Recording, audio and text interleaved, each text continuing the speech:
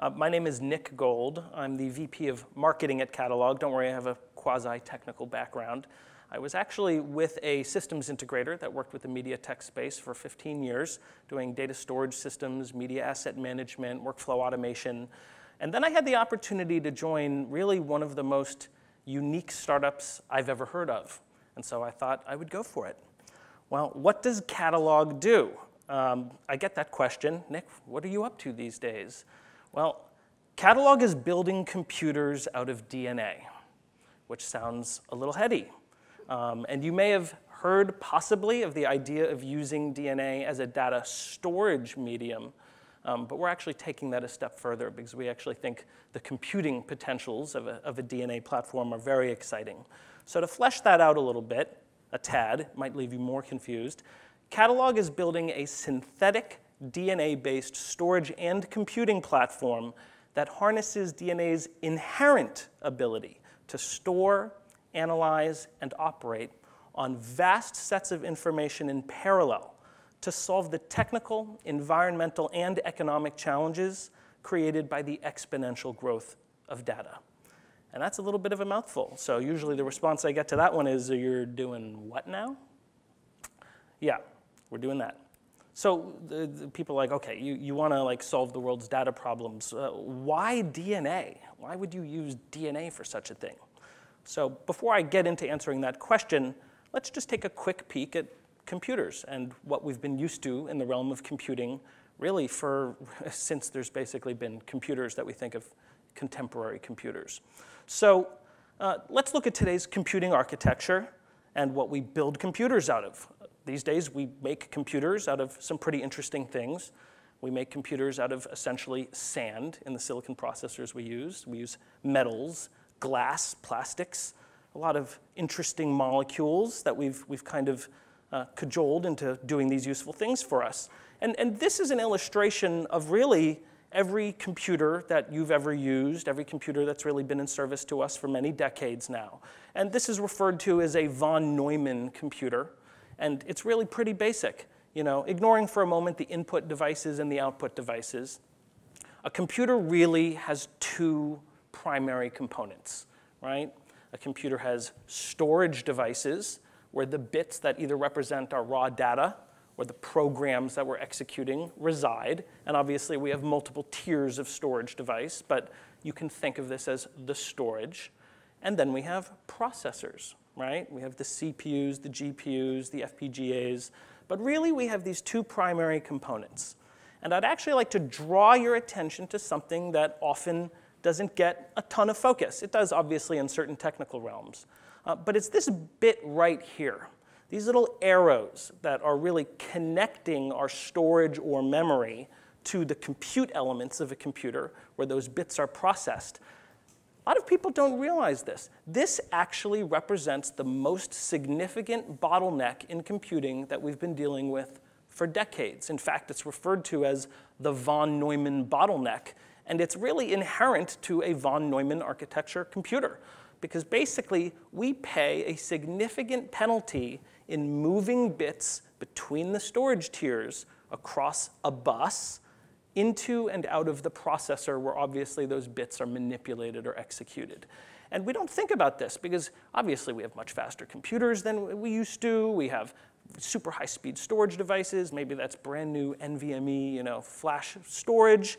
We have you know, super powerful you know, CPUs, GPUs, you know, specialty processors. But the one thing that really hasn't kept pace with this is the connecting lanes of the bus that still has to move these bits between these totally separate units in our computers. Again, we've, we've just taken for granted over many years. Computers have these two separate things where the bits live and where the bits are manipulated, and we always have to move them between these things. So uh, bear this in mind as we get into what some of the potentials of using DNA as a computing platform are.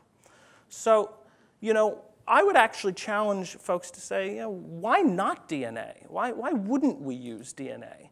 And I'm going to just illustrate this with something that you can pull up in any textbook. This is a simple illustration of what's happening inside of every cell in your body every time it replicates, and thus, as part of that replication process, the DNA itself needs to be replicated.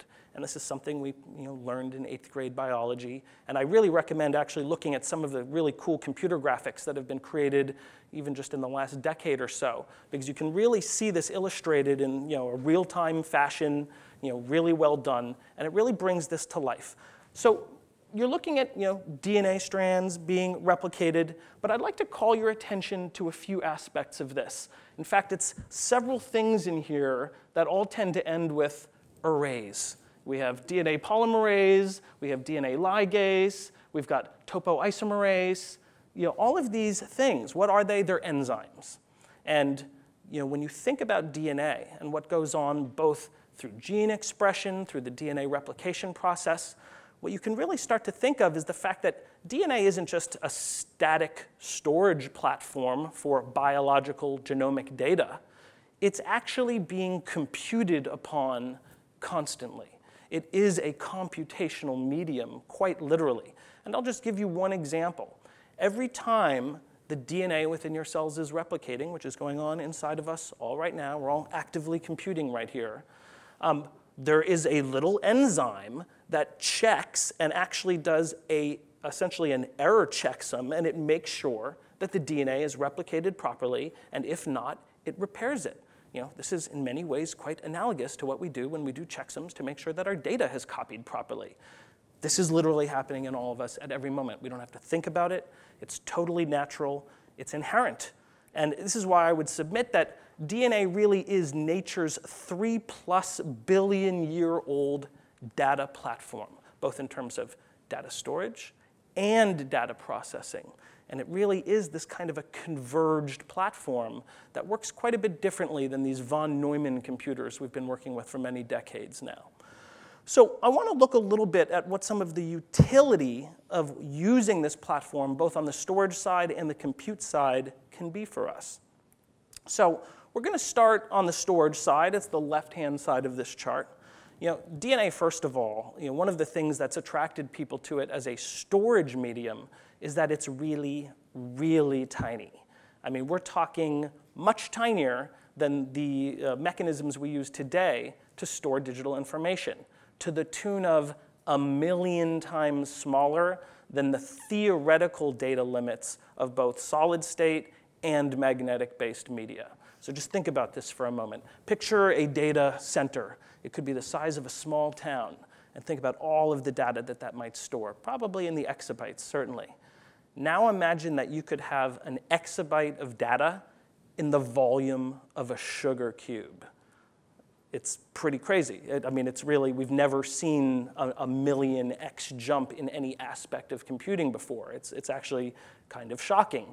Or in one data center, you could have a million data centers worth of data being stored. And you know, some of the uh, back of the napkin math that I've seen is basically in the back of a hatchback, the volume in the back of a hatchback, think of a Honda Civic, you could store in DNA form, if you were able to get it all in there, all of the data that humanity has ever generated through today, including the analog era all of the information could fit in the back of a hatchback or a small coat closet. So that's pretty nice for a storage medium that we're talking about something that's very small. Um, the redundancy of DNA is another really appealing feature because you don't just have one copy of your genome. One of the ways that nature kind of has built redundancy into this platform is that we have many, many copies of our DNA in a, in a biological organism that's in every cell of our being. And this is part of the reason we can have the full genome sequenced of a woolly mammoth that died tens of thousands of years ago. There may be errors that have occurred um, as the DNA you know, sequences have gotten a little out of whack over you know, tens of thousands of years, but we have millions and millions and millions of copies of those, of those genomes. And so we can always kind of compare them to one another, and sequencers do this, and say, okay, well, we can pretty much statistically know that this is probably what it ought to be. Um, so the redundancy is very useful just from, from protecting data, But it also, again, and I'll get a little more into this, from interrogating the data perspective, it really gives us this ability to not only have essentially limitless information in a very small volume, but actually be able to attack many copies of that data set simultaneously. And when we work with DNA as a, as a, as a data mechanism, we're never just making one copy of a DNA sequence. It's actually pretty easy to do many, many copies at once.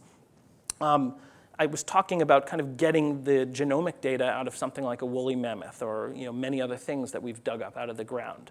Um, and again, uh, part of that is because of the redundancy. But the other thing that we like to think about at Catalog is that DNA is always going to be a relevant data platform as long as we're still a biological organism that cares about DNA or cares about other organisms' DNA. Uh, you know, think about it this way. You know, when, what's the last piece of digital storage media you had that either had a shelf life of more than 20 to 30 years in absolutely ideal conditions. Maybe this is something like an LTO tape, you know, stored at Iron Mountain or whatnot. Okay, maybe the manufacturer will tell you that this thing could last 30 years, but I've sold a lot of data tape systems. I never told my clients that. I told them this has a functional life of maybe closer to five to 10 plus, because you don't know for sure in 10 or 15 years of the developments of computing technology whether you're going to have an LTO whatever tape drive or whatever generation of connector you're using, whether that's FireWire. Remember FireWire and how great that was? We, we haven't used FireWire in years. It could be different generations of ATA buses. It could be all sorts of things that we basically come up with better versions of every few years. So we can't ever really count on any piece of media being useful to us for really much more than a five to 10 year window. Again, as long as we care about DNA and have the ability to sequence DNA using sequencers, um, we have reason to do this as a species, this is going to be a data medium that will always be relevant to us. And in fact, we can probably assume we'll get better at, and better over time at utilizing it, at sequencing it more quickly, et cetera. So on the compute side, you know, we have a number of, of really interesting attributes as well. And I was talking about this earlier. In computing, we've always had this bifurcated realm of compute and store and this massive penalty we pay that we don't feel on a day-to-day -day basis maybe as users, but really it is holding back what any given computer can do at a given moment, is the having to move the bits in and out of storage to the processor and back. And in DNA, as you kind of saw in that illustration, we can actually interrogate all of the bits directly in the DNA form. In fact, imagine that every bit of data that might be stored as one of the letters of a DNA sequence. You might remember we have four letters in DNA, the, the four nucleotides, A, T, C, and G, that represent those four chemicals that make up the DNA polymer molecule. Well, imagine that we're storing data in that kind of arbitrarily, and I'll get a little more into how we do that at Catalog in a moment. But now imagine that you can kind of send in processing molecules and attack the entire set of DNA data simultaneously, and maybe across many copies as well. That's pretty unique. There's been these ideas for a number of years about in-storage computing. Can we bring the compute closer to storage? Or in-memory computing, which is similar. Can we make the memory and the compute closer and kind of you know, tighten up those latencies because it is such a penalty we pay. We have none of this in DNA. We can actually have these biomolecular interactions that are doing computation directly against every bit of data stored in a DNA sequence simultaneously. That's pretty radical. Um, the other thing about that and what that allows for is this form of almost scale-free parallel computing. Because if you think about it this way, it's very easy for us in the lab, so to speak, to kind of brew up more copies of a molecule that might, again, through an enzymatic process, perform some kind of a computation against data stored in DNA form. Well, you know, think about this. These molecules are stored in liquids. Imagine, uh, you know, liquid handling robotics that are combining two test tubes, essentially, and this is how we expose, say, a DNA set of data molecules to these kind of programmatic enzyme molecules. Well, you're kind of flooding these molecules against one another, and based on the laws of thermodynamics, all of these particles come into contact with one another almost instantly. And again, that would happen at really the same speed if that you know, volume of DNA data was an exabyte or a terabyte. It, there, there are no kind of additional penalties we have to pay to process more data in this way. Again, that's a very radical departure from how we've been used to using computers, which is that for every bit of more data you need to process, it's a fairly linear or sometimes even superlinear uh, relationship with how much compute you need to bring to bear to process that increasing size of a data set. So, you know, the fact that we can kind of use the same amount of stuff, maybe more copies of the molecules, but have this all happening simultaneously regardless of how much data is being processed, huge deal. And again, DNA has some very interesting, we'll call them native attributes as a molecule. And again, I would submit if some, you know, maybe robotic civilization came to Earth and looked at all of the molecules we use, I talked about sand and metal and plastics to build computers out of, and they said, okay, humans have all of these molecules to work with. You know, what's the one that makes the most sense to build a computing and data platform out of? I think they'd probably say, oh, this DNA molecule seems to be it. It's what nature designed to do this very set of things with. So DNA has, the, again, these very interesting native attributes, such as this. You may remember in, in the language of the DNA alphabet, A's always match to T's and C's always match to G's. And what's interesting about that, again, and this is really based on the laws of thermodynamics, if you create single-stranded DNA and you actually design them to have complementary sets of those, those pairs of nucleotides, they will essentially find each other almost magnetically in a solution. They will self-assemble and then we can actually shore up those assemblies with these enzymatic processes that lock them together. But think about this from kind of a data query perspective. Imagine you have a certain pattern of data in a DNA data set, and you want to find that piece of data in maybe an exabyte of DNA data. You could design actually other DNA sequences that essentially have a complementary set of nucleotides, so they will latch on to the underlying DNA data patterns that they're sort of designed to find. And you may not realize this because I was not a synthetic biologist up until you know, four months ago, not even really exposed to what was going on in this space. I'm from a systems integrator, right?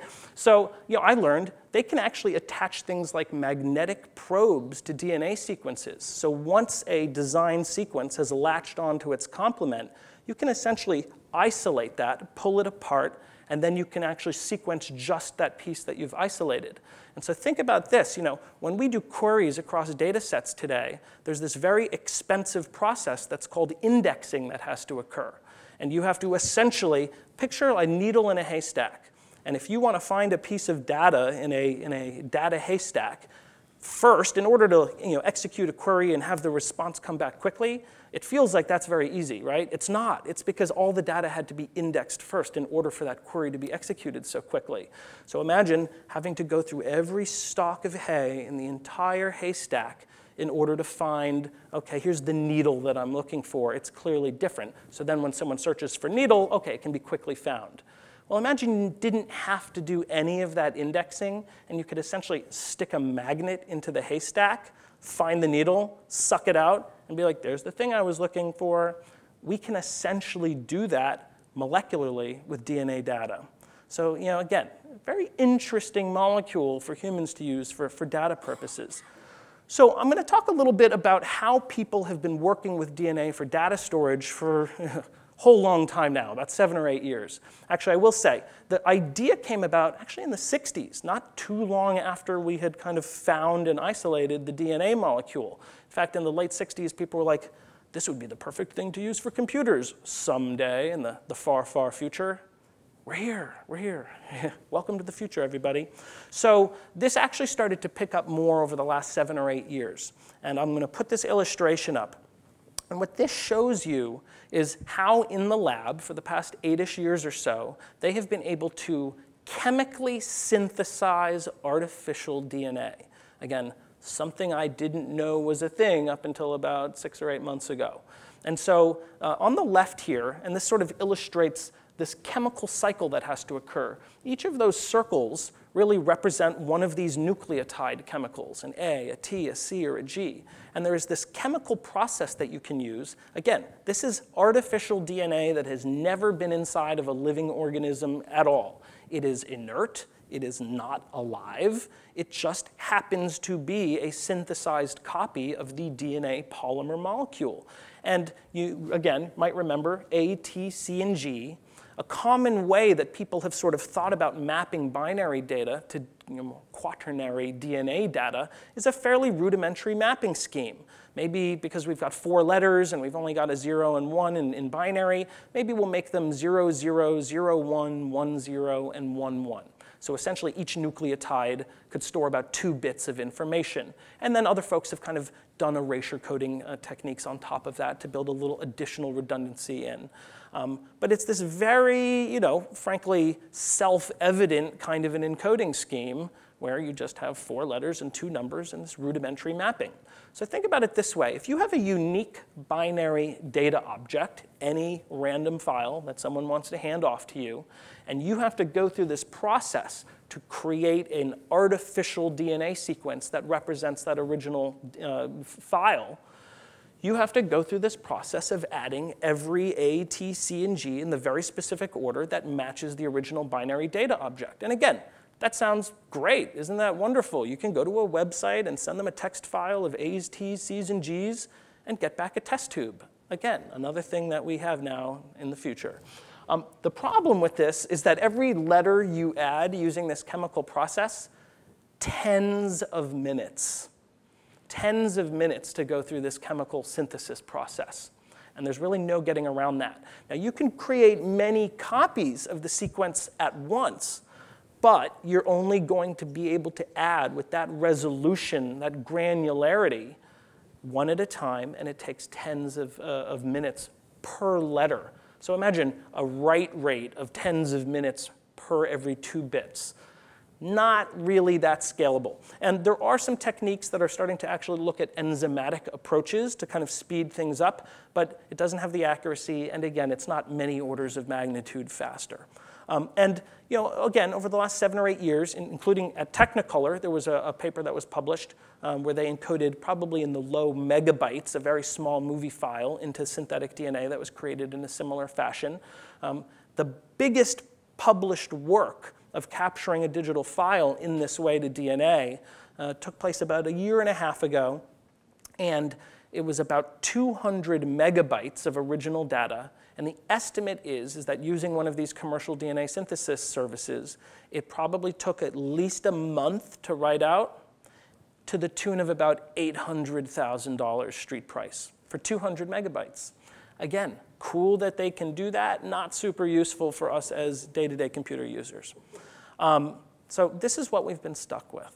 And catalog, and uh, frankly, this is something that caught my attention. I was researching DNA data storage because a geneticist friend of mine put this bug in my ear about nine months ago, and he says, Nick, have you heard of using DNA for data storage? I was like, yeah, on a Star Trek episode or something. And he's like, no, you should really look at this. These things are picking up. So I was doing research, and this company that I now work for, Catalog, really stuck out because they, they realized that was not going to scale. There was no way we were going to turn that into something that could store meaningful amounts of the big data that humanity is generating. You know, the estimates are now 175 zettabytes per year by 2025. You know, okay, uh, 200 megabytes in a month for 800 grand isn't going to keep up anytime soon. Now, this next slide is a little heady. And I don't expect everyone to walk out of here today with a perfect understanding of how Catalog's technique works, because frankly, it took me a few months to really catch up. But I want to illustrate it in this way. Think about the fact about that earlier encoding scheme that I talked about, where you have, again, this fairly you know, self-evident and rudimentary mapping or encoding scheme of zeros and ones to A's, T's, C's, and G's. Um, the folks at Catalog realized, wait a minute, encoders can work many, many different ways. We don't need to encode binary data into DNA in that fashion we could come up with a different type of encoding scheme. Because at the end of the day, what you have to create is entropy. You have to create a system that has enough complexity within it that can store arbitrary amounts of complex human information. Again, the underlying binary data objects. So Catalog took a very different approach. They said, you know what, we've got some density to spare. We don't necessarily need to realize the absolute maximum theoretical density of DNA. What if we were willing to give up a tad, maybe even just like around an order of magnitude? And what if we came up with this way of doing it? Imagine we go to these services where we can get this synthesized DNA created for us.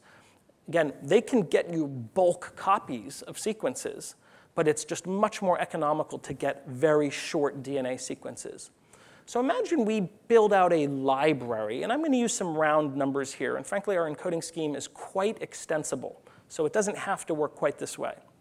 But imagine we come up with a bunch of, let's call them DNA sequence components. And let's say they're in the order of a couple of dozen base pairs long. And let's say we create a library of hundreds of those. And maybe, you know, they're double-stranded in the middle, but we give them these single-stranded overhangs on each end. And we come up with a very specific, totally, you know, programmatic, known in advance way that we can combine these hundreds of components into these longer, what we'll call identifier DNA sequence molecules. And so this identifier molecule, okay, maybe that's even in the few hundred base pairs long. But what would that thing represent?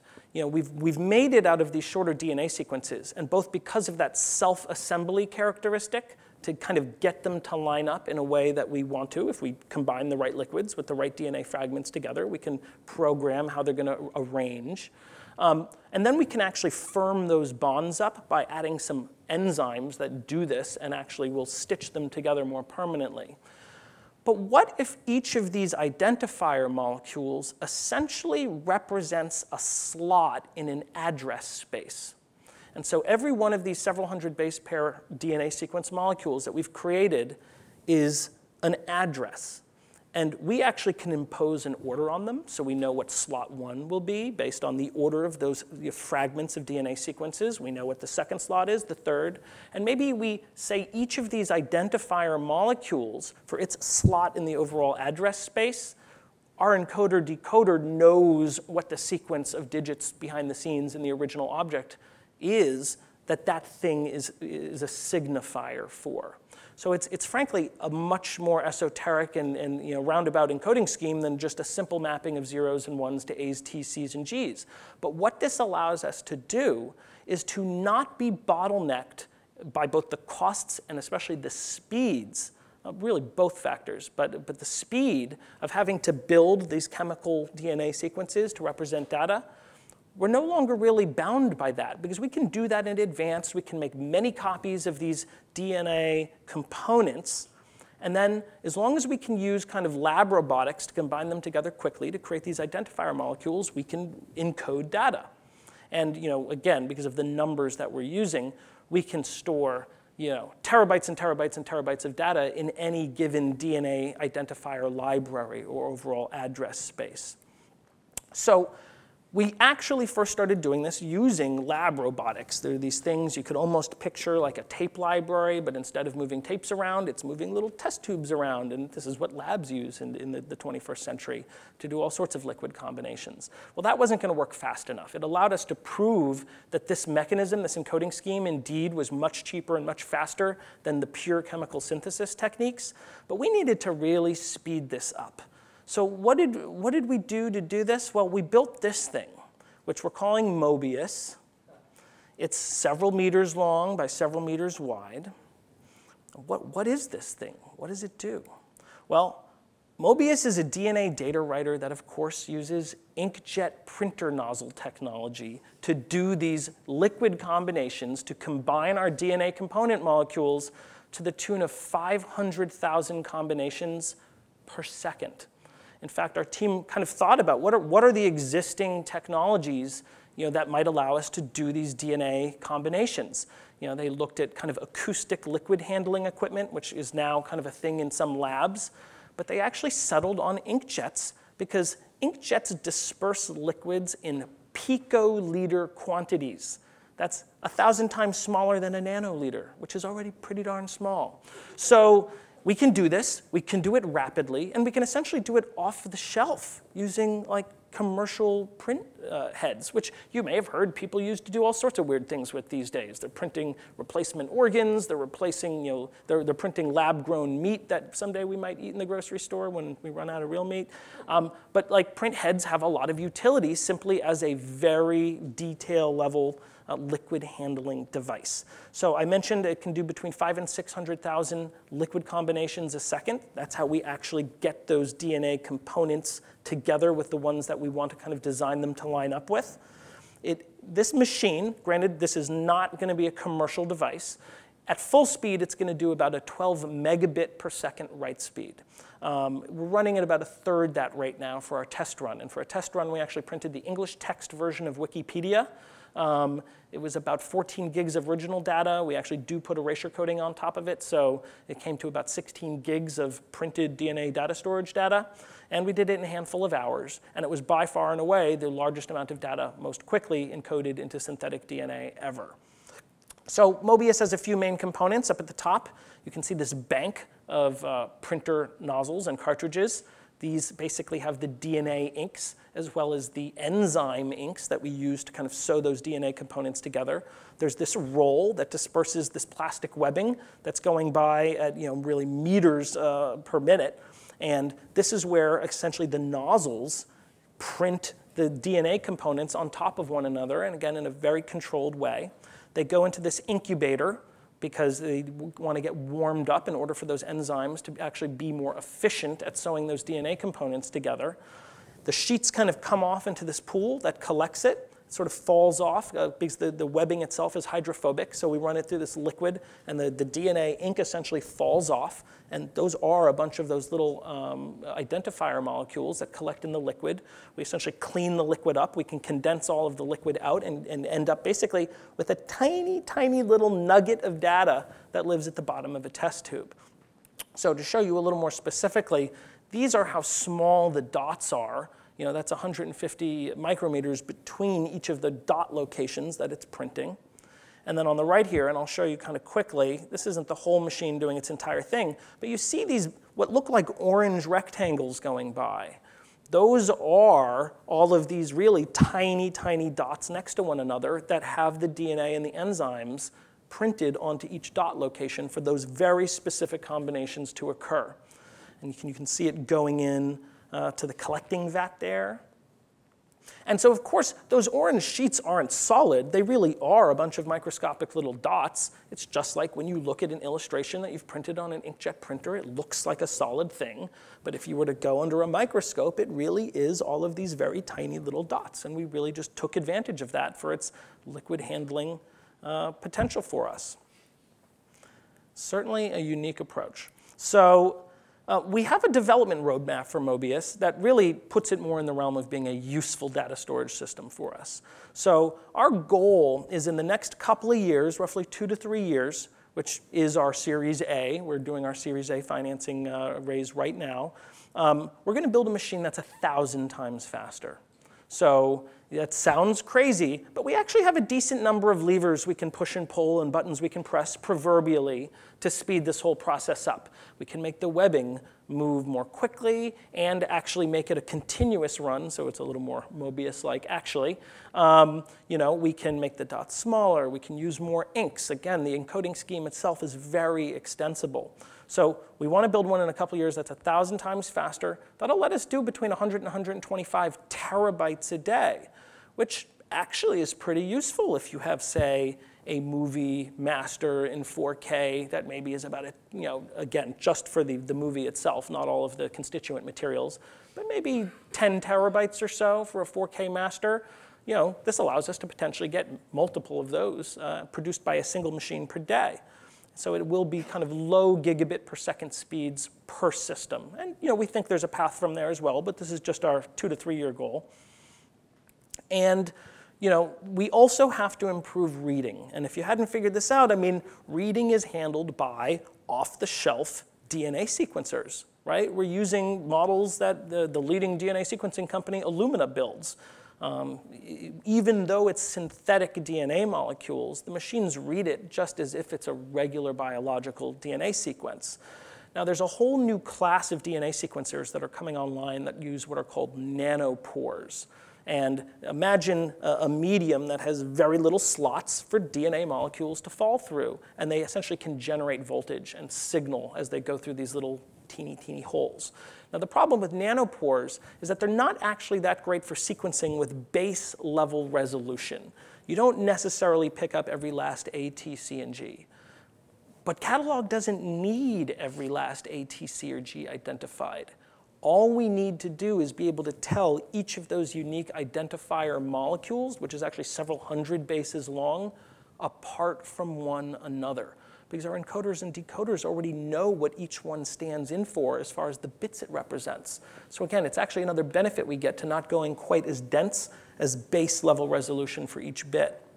So we actually think that nanopore will be ideal for us and could represent a significant leap that we want to bring to sequencing of specifically this class of DNA molecule that's used for arbitrary data storage. So I talked about wanting to compute on this data directly.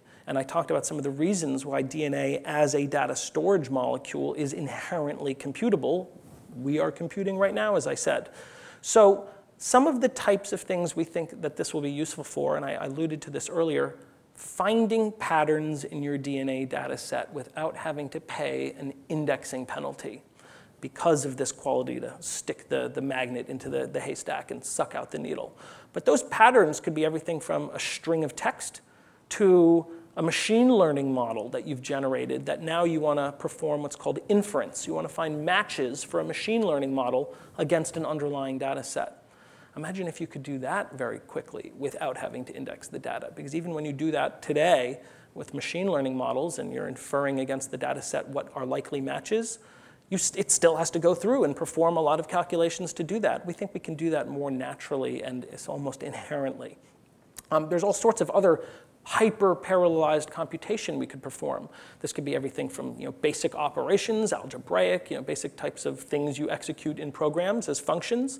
Um, this could be digital signal processing techniques. There's a lot of interesting types of parallel processing. In fact, this is like the ultimate parallel processing platform because every bit can kind of be addressed simultaneously. And as I said earlier, this really is true in storage in memory computing because you have totally converged these two sides of what we think of as computers, the storage elements and the compute elements, into a single platform. So we are doing pilot projects. In fact, we're, we're going to be beginning the pilot projects more officially at the beginning of this new year in, in early 2020. We actually have to move the machine over from the organization where it was actually assembled in the UK. It's going to come over to our office in Boston and we are actively looking for pilot users to sign up. Um, these are really proof of concept projects, and we're certainly looking at media and entertainment and people who have a lot of high value assets that this could be an interesting use case for. But we're also looking at other industries, banking and finance, the energy industry, you know, industrial organizations, uh, insurance, anyone really who has big data sets and also really wants to perform a lot of rapid data analytics and querying against those big data sets that today's technologies really can't hold up for so well. So we are doing these soon. If people are interested in potentially being a pilot, if you're in a major media organization or if you are in a different industry, but maybe more like a Fortune 100, you can certainly reach out to me at nick at catalogdna.com and we can talk about whether you're a right fit for our pilot process. And with that said, and I know that this was a lot of material to digest. It again, I'm still kind of getting there myself, and I've been with the firm for four months now. I'd be happy to entertain any questions that people have. There may be a few. Oh, thank you.